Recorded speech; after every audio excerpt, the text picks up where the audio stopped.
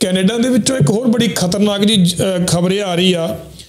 ਉਹ ਇਹ ਆ ਜੀ ਕਿ ਜਿਹੜੇ ਲੋਕ ਕੱਚੇ ਨੇ ਕੈਨੇਡਾ ਦੇ ਵਿੱਚ, ਜਿਹੜੇ ਕੋਲ ਪੇਪਰ ਨਹੀਂ ਹੈ, ਜਿਹੜੇ ਕੰਮ ਕਰਨ ਦੇ ਲਈ ਐਲੀਜੀਬਲ ਨਹੀਂ ਹਨ ਜਾਂ ਉਹ ਅਲਾਉਡ ਨਹੀਂ ਹਨ ਕੈਨੇਡਾ ਵਿੱਚ ਕੰਮ ਕਰਨ ਦੇ ਲਈ, ਉਹਨਾਂ ਦੇ ਉੱਪਰ ਥਾਂ ਥਾਂ ਦੇ ਉੱਪਰ ਛਾਪੇ ਵੱਜ ਰਹੇ ਨੇ।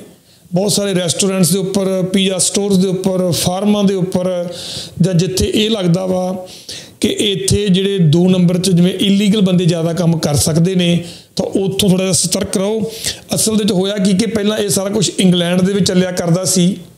ਤੇ ਇੰਗਲੈਂਡ ਤੋਂ ਫਿਰ ਜਿਵੇਂ ਕਹਿ ਲਓ ਕਿ ਜਦੋਂ ਕੰਮ control out of control Canada 'ਚ ਵੀ ਹੋਇਆ, ਤਾਂ ਹੁਣ ਇਹਨਾਂ ਦੇ ਵੱਲੋਂ ਬੱਸਾਂ ਦੇ ਵਿੱਚ ਚੜ ਕੇ, ਸਿਵਲ ਦੇ ਵਿੱਚ ਜਾ ਕੇ, ਬੱਸ ਸਟੈਂਡਾਂ ਤੇ ਜਾ ਕੇ ਜਿਹੜਾ ਕੱਚਾ ਬੰਦਾ ਉਹਦੇ ਕੋਲ ਗੱਡੀ ਤਾਂ ਹੈ ਨਹੀਂ। ਜੇ ਗੱਡੀ ਹੈ ਉਹਦੇ ਕੋਲ ਲਾਇਸੈਂਸ ਨਹੀਂ ਹੈਗਾ ਸੋ ਉਹਨੂੰ ਮੋਸਟਲੀ ਜਿਹੜੀ ਪਬਲਿਕ ਟਰਾਂਸਪੋਰਟੇਸ਼ਨ ਆ, ਉਹਨੂੰ ਯੂਜ਼ ਕਰਨਾ ਪੈਂਦਾ ਵਾ। ਤੇ ਹੁਣ ਪੁਲਿਸ ਦੇ ਵੱਲੋਂ ਜਾਂ ਜਿਹੜੀਆਂ ਇਹਨਾਂ ਦੀਆਂ ਇਮੀਗ੍ਰੇਸ਼ਨ ਦੀਆਂ ਬਾਡੀਜ਼ ਹਨ, ਉਹ ਚ ਬਹੁਤ ਸਾਰੀਆਂ ਬਾਡੀਜ਼ ਆਉਂਦੀਆਂ ਨੇ।